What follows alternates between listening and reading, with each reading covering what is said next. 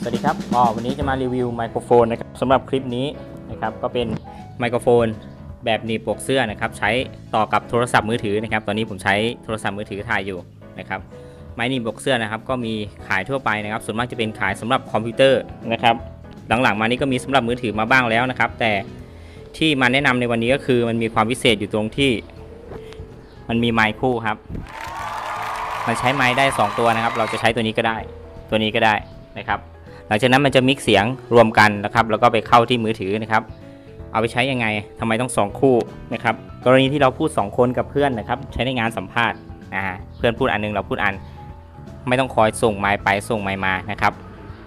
ไม่งั้นเสียงมันจะขาดหายไปไงเราพูดไกลๆไม้แบบนั้นนะครับ และอีกอย่างหนึ่งก็คือ ในการใช้ทดสอบกับกีตาร์นะครับ ในการ cover กีตาร์กันหลายๆคน ผม ผมใช้แบบนี้บ่อยนะครับ คือติดไว้กับกีตาร์ตัวหนึ่ง แบบนี้นะครับ แล้วเราก็จะได้เสียงที่โอ้โหรถวิ่ง เสียงกีตาร์ที่ใสนะครับ เสียงร้องที่ชัดเจน วันนี้มีเธอ นี้ฮะ เราลองทดสอบดูเราไม่ใช้นะ เดี๋ยวผมจะลองถอดสายออกให้ดูแล้วกัน เดี๋ยวขออนุญาตตั้งกีตาร์ไว้ก่อน อะ เดี๋ยวถอดสายออกนะอะอันนี้ผมถอดสายออกนะครับ ตอนนี้ก็เป็นการพูดแบบกับกล้องของโทรศัพท์ใช้ไมค์โฟนโทรศัพท์เสียงจะเบาใช่ไหมครับเวลาคุณไปทำไลฟ์สดขายของหรือว่าทำคลิปวิดีโอต่างๆ เนี่ย เสียงมันจะไม่ค่อยได้นะครับคนจะไม่ค่อยดูนะครับ โอเคนะครับ ก็ก็ลองเสียบ